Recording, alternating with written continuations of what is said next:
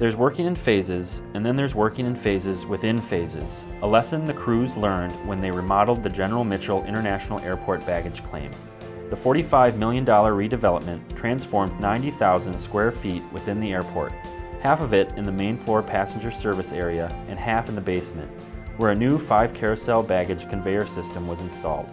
The project also involved putting up a curtain wall and a glazed canopy over a roadway, Traffic concerns, along with the existence of relatively little space for expansion to the south, meant using an abandoned hangar to store precast plank and wall panel until they were needed on site.